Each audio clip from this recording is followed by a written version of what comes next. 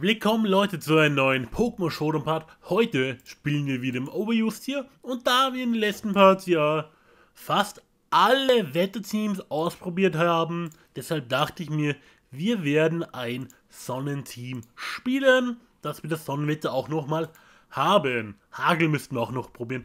Aber ich sag, ich habe mal Lust, alle Wetter zu spielen. Also ich bin kein Wetterfreak im Pokémon, das muss ich schon sagen. Aber ich habe Bock, mal die Sonne im Ojo auszuprobieren. So, wir spielen hier Sunsetter natürlich Kurtel mit Lava Bloom, Rest, Rapid Spin und Will-O-Wisp. Rest ist dazu da, dass wir uns regenerieren, denn Rockschaden bekommen wir uns, dass wir die Sonne halt nochmal reinholen können. Voll physisch defensiv, seht euch den Vulkan und Rapid Spin ist auch nochmal nice. Und wir machen sowieso guten Schaden in der Sonne mit Lava Bloom. Wegen der Sonne natürlich. Dann spielen hier ein Venusaur mäßig, voll Special Attack, Full Speed mit dem Leben Orb, um Schaden rauszumachen. Esken Croft. Wenn wir Wachstum in der Sonne ersetzen, doppelten Spezialangriff, doppelten Angriff. Sehr schön. Gigaran, Weatherbolt und Earthpower sind die Attacken unserer Wahl. Dann haben wir noch ein Choiceback Seedran. Choiceback Seedran haut mit Eruption in der Sonne richtig rein. Es kann dazu noch Earth Power, Flash Cannon, Flamethrower mäßiges Wesen, Full Special Stack, Full Speed mäßiges Wesen für den maximalen Damage Output. Ja, man könnte auch Choice Scarf Hydro spielen, aber wir spielen Choice Scarf Damanitin. Dieses Pokémon haut natürlich auch nochmal sehr stark rein. Mit dem Flammenblitz in der Sonne macht es extrem viel Schaden. Sheer Force boostet auch nochmal Flammenblitz. Aber Dafür bekommen wir leider sehr viel Schaden. U-Turn für die Switch Advantage. Ich habe angesprochen, durch den Flammblitz bekommen wir sehr viel Recoil Damage. Und deshalb ist hier Feuerschlag sehr gut da, wenn wir einfach eine Feuerattacke drücken wollen mit Flampivien und Schaden machen wollen und kein Recoil haben wollen. EQ zum Beispiel für Toxpex. Dann spielen wir noch ein speziell defensives Landrose mit Defog, Earthquake, U-Turn und Knockoff. Ja. Speziell defensiv. Dann haben wir noch ein Hydreigon mit Dark Pulse, Earth Power, Nasty Blood und Roost. So, man könnte jetzt zum Beispiel bei Landroost statt Defog Tarnsteine drauf machen oder auf Kurtel die Tarnsteine. Und ich denke, wir werden auf Kurtel einfach mal die Rocks rausholen, denn wahrscheinlich wollen wir mit meisten Fällen mit Horkoliden oder mit Landros und die Rocks rauslegen oder die Sonne, wie gesagt, zu setten. Und da würde ich mal sagen, werden wir den Erstgegner jetzt mal suchen. Ja, ich bin schon gespannt, wie das Team funktioniert, denn wie gesagt, ähm, ja, ich kopiere meistens die Teams aus dem OU, aus der OU Room, könnte man sagen. Aus dem Teambuilding Companion, genauer gesagt. So, wir lieben natürlich mit Lanrus, wahrscheinlich liedet er, okay hat wahrscheinlich auch gedacht, dass wir mit Kurtel lieden, Bolone Schnelle, er settet den Hagel auf, Kurtel ist langsam, dann setzen wir auf gut. Ähm, er geht wahrscheinlich auf die Wasserattacke oder U-Turn, wir gehen in Kurtel. Searching Strikes macht sehr viel Schaden in der Sonne.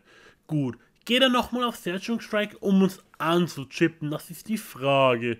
Oder wir gehen in High Dragon, also. Wir brauchen Micronplay für Belohnung und Searching Strikes.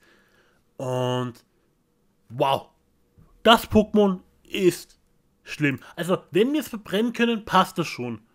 Also, wir sind über 25%, das ist sehr schön und ein Burn ist hier eigentlich sehr wichtig gut. Der macht jetzt nicht mehr so viel Schaden. Gut. Hm.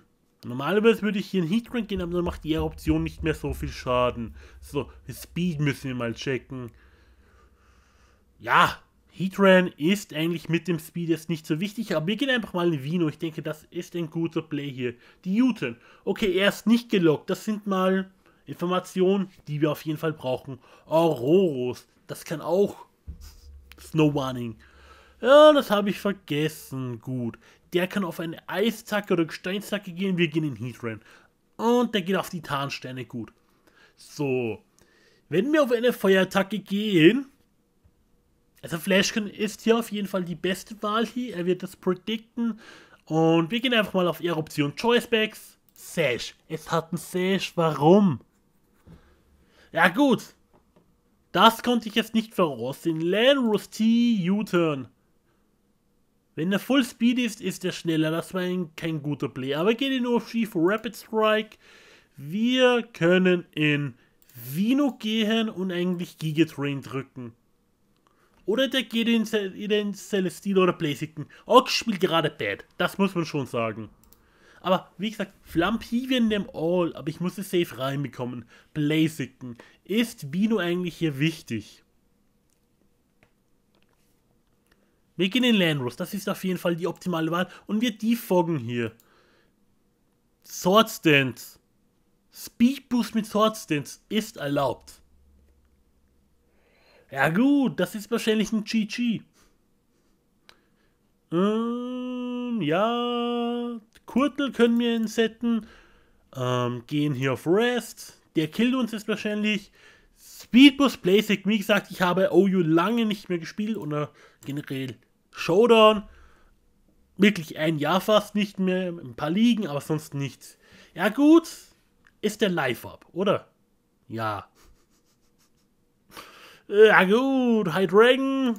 So, dann gehen wir hier auf Roost, wenn die Attacke überlebt, das kommt nein. So, müssen hier eigentlich auf Fire Punch gehen, denn Urshifu im Wasser kann, ihr wisst schon, ähm, Water Jet. So, Fire Punch, wir killen, Arctozolt, jawoll, weg mit dir, Ninetales. Hagelschaden bekommen wir, Aquachat killt uns aber.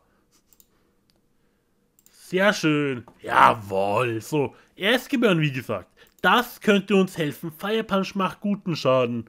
Ja. Crit. Searching Strikes hat der eingesetzt. Dumm von mir. Aber wir hätten Flare Blitz nicht drücken können. Ja, das war jetzt nicht so gut. Gut wirklich gut gespielt von mir, das muss man schon sagen. Wie gesagt, ich habe das Team noch nie getestet. Vielleicht sollte ich mir deshalb mehr Zeit lassen. Aber Ushifo, wow, Rapid Strike. Also der schiefe Wasserkampf ist insane gegen uns. Ja, der nächste Gegner hat ein interessantes Team. Relaxo, Zwolog, Coplosio, Voltenso. Nicht Voltenso, nein. Voltulus. Voltenso ist ein Elektropokémon aus dritten Generation. Dragonite und Tapofini. So, wir gehen in Kurtel und er lebt mit Sunroost. Okay, wir haben hier Hydreigon. Hydreigon hat Roost. Das passt schon. Oder wie spielt man Sunroost? Eigentlich können wir auch in Landroost gehen. Der wird wahrscheinlich auf eine Elektroattacke gehen. Knockoff. Okay, das ist zu vertragen. Wir, also er geht es wahrscheinlich in Tapofini und Knockoff ist hier wahrscheinlich besser. Oder Zonter und wir bekommen Knockoff hier raus. Sehr schön, Sash ist weg und jetzt gehen wir mit der U-Turn raus. Er will jetzt hard switchen oder er hat die U-Turn drauf, das sehen wir gleich. Verhöhner, streulich darum. So, er geht in Tapofini, war klar. Aber wir können jetzt in Bisaflor gehen. So, wenn wir es theoretisch auf Croft gehen. Also wir haben nichts gegen Dragon Knight. Wir gehen einfach mal in, auf Gigatrain. Er muss hier rauswitchen. Hat Zwolok Vegetarier? Nein. Wir gehen hier einfach mal auf Gigatrain. Sehr gut Play. Er bleibt drinnen, überraschenderweise. Icebeam. Warum spielen wir auf diesem Ding Icebeam? Wir haben nichts zu verlieren mit Gigatrain, wie gesagt. Live-Up-Schaden bekommen wir, aber wir können hier recovern. Blaze, Fallon, okay. Speckschicht, Relaxo macht mir gerade ein bisschen Sorgen. Egal. Erstpower. Wir bleiben hier einfach drinnen. Wir haben hier nichts zu verlieren. Sehr schön, Fallon ist drauf. Raus in der Sonne würde es extrem viel Schaden machen. Also für High Dragon hätten wir, also für Snorlax hätten wir High Dragon. So, ehrlich gesagt, müssen wir hier drinnen bleiben, müssen aggressiv gegen Curse Snorlax spielen. Oder wir gehen einfach so in High Dragon. Lefty. Ja, was ist das, AV? So. Wir können hier einmal Nasty plotten. Das ist klar. Tapofini ist schon angechippt. Rocksled macht keinen Schaden, Bandit ist es auch nicht. Wir gehen einfach mal auf Roost. Denn hier bin ich, ja, hier will ich ein bisschen langsamer spielen, denn, okay, ich dachte, vielleicht kommt eine Kampfattacke, Superpower oder so. Ja gut, dann gehen wir in Kurtel. Nichts zu verlieren. Gut, die Tarnsterne können wir rauslegen. Wir könnten Snorlax auch burnen. Das werden wir jetzt auch tun. Der macht keinen Schaden. Wir könnten auch auf Lavablumen gehen, aber Will-O-Wisp burn ist safe. Sehr schön. Gut. Hm, jetzt können wir eigentlich wieder in High Dragon gehen, oder? Gena, ja. Dann gehen wir in Landrus und hauen ihnen die Lefties weg, denn die Lefties nerven schon. Aber wirklich, was will das Snorlax, Snorlax tun? Es ist geburnt? Ja, es ist Snorlax ist nicht mehr so gut. Die Lowlader muss ich nur sagen. Aber egal. Also wenn das Snorlax down ist, macht Heatran im Main Schaden. Müssen schauen, dass wir Heatran safe reinbekommen. Speckschicht Relax ist ein Problem. Das schon, aber wie gesagt, da können wir drum rum spielen. Gut. Venusaur ist angechippt, könnte sich mit Gigasaga, wie gesagt, noch heilen. Also, das Dragoran, das ist ein bisschen ist, ist ein bisschen problematisch. Da müssen wir aufpassen. Thunderous, da können wir wieder auf die U-Turn gehen. Taunt bringt ihm hier jetzt nichts. Er muss einen Hard Switch machen oder ja, er geht in Tapofini. Sehr schön. Und wir gehen hier in Heatran. Hier können wir Heatran safe reinbringen, können die Eruption drücken, die auf jeden Fall Schaden macht. Und in der nächsten Runde macht die Eruption nochmal sehr viel Schaden. So können wir ihn forcen, dass er vielleicht Relaxo reinholt. Ja, er hat Speckschicht, aber Eruption, Choicebacks, Sonne, Step. Die Attacke muss Schaden machen. Damn. Jon, Burn, weg mit dir.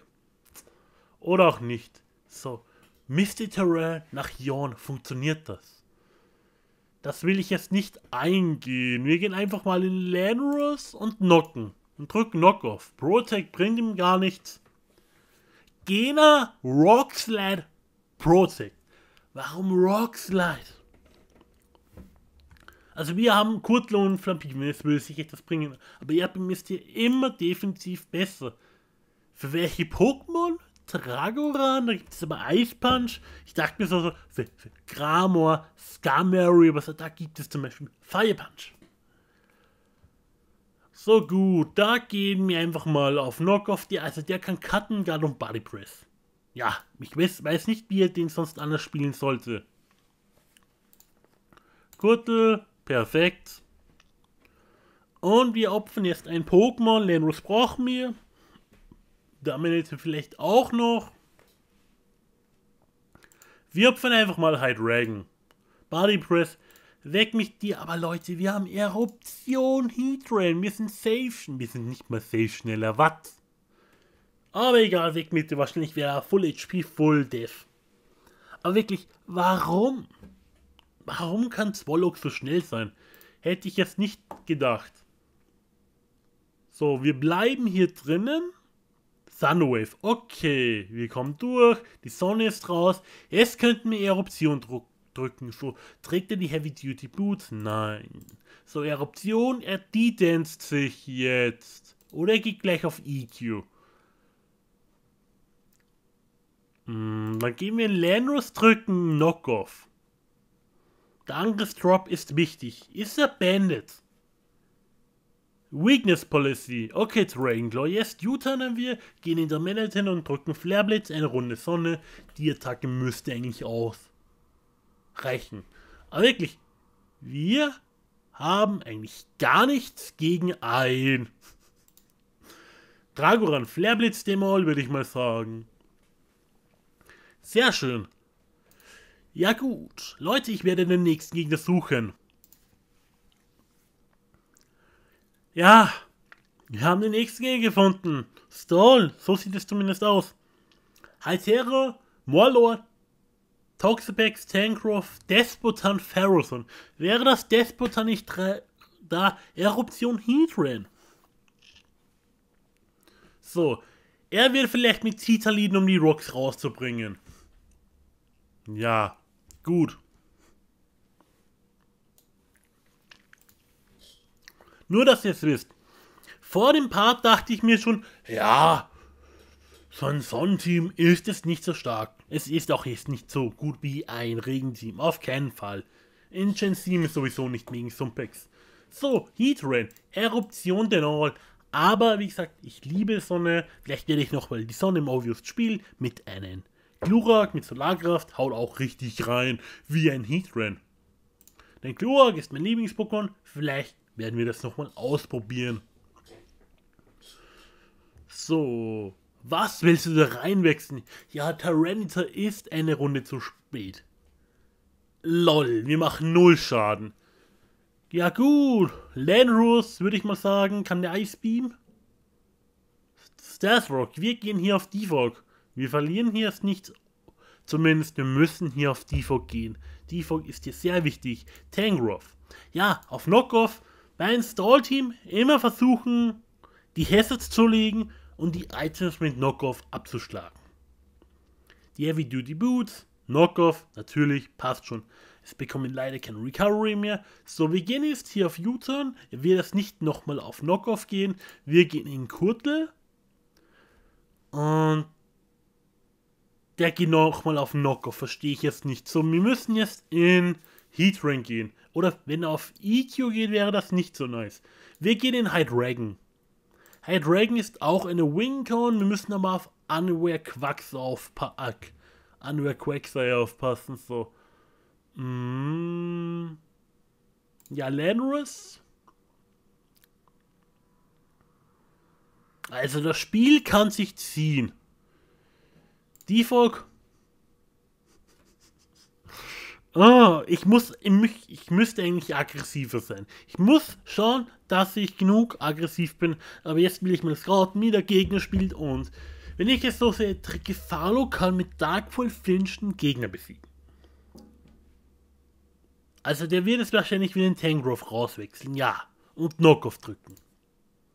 Jetzt gehen wir in Kurtel und jetzt müssen wir mit Kurtel irgendetwas machen. Wir haben Rest, das passt schon. Jetzt können wir einfach mal öfters mal Lava Blumen drücken. Toxic ist egal. Jetzt holen wir mal die Rocks raus.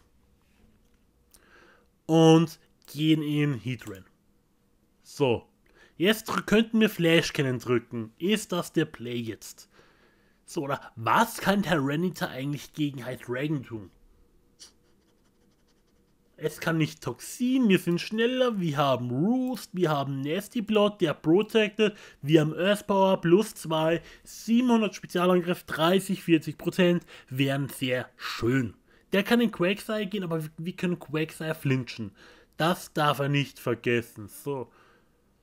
Ähm, ja, machen 40% mit Darkpool flinchen, also Lol. Ja, Toxic, das ist es nicht so nice. Wir brauchen jetzt den Flinch. Ja. Dark Pulse. So, jetzt wird er nochmal auf Protect gehen. Ja, High Dark Pulse dem All. Wir sind auf plus 6, aber ich muss hier irgendetwas tun. Wisst ihr was? Wir gehen hier auf Dark Pulse. Der kann in Quack gehen. Also gegen Toxic Double Protect, ist das denn ernst?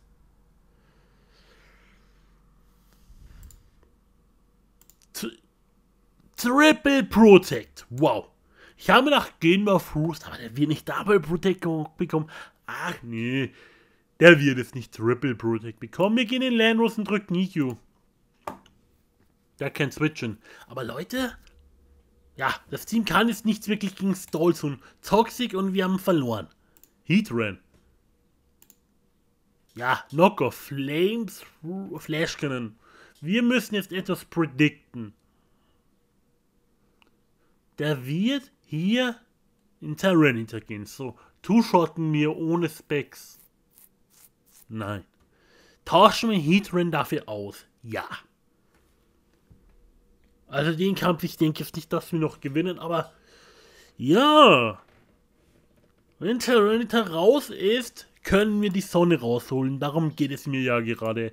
Er hat keinen EQ-Switch in, der will es nicht Tangrowth rausholen. So, bitte opfere einfach dein Tyranitar. Wie gesagt, mit Venusaur, er kann Venusaur nicht toxiken, so könnten wir uns noch ein Comeback ermöglichen. Er geht in Quagsire, wie viel Schaden bekommt Quagsire? Null. Man kann es so viel Heavy Duty Boost spielen, deshalb sagt sich ja Knockoff. Ähm, ja, wir gehen in Vino. Der geht wahrscheinlich auf Toxic, Skull, Can Burn, Recover. Gut. Mm, wir kommen nicht gegen Pharaoh durch, wenn die Sonne nicht raus ist. Das weiß er auch. Der wird es draus wechseln. Wird der in Toxpix oder Pharaoh gehen? Wir gehen in Kurtel, der wird in Pharaoh gehen. Ja, gut. Wir gehen jetzt mal auf Rest, Tyranitar und gehen jetzt in Landruth. Er hat die Lefties, die müssen wir jetzt einfach mal wegtun. Ja, der weiß es, der kann, der ist wirklich ein, ja, was soll man sagen? Rockblast, der spielt nicht Toxin, lol. Wir gehen hier auf die U-Turn und Wisst ihr was, wir gehen hier auf EQ. Vielleicht predicted er, dass wir auf U-Turn gehen, er tankt die Attacke und kann mit Rock Blast irgendetwas machen, maybe. Pharaohson, wow.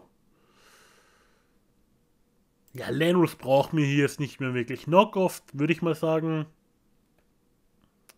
Obwohl die brauchen immer einen Switch gegen Tyranitar. Ja, EQ nochmal. Vielleicht killen wir Ferris. Leash Seed hat zum Glück nicht getroffen. Sehr schön. Es ist nicht mal down.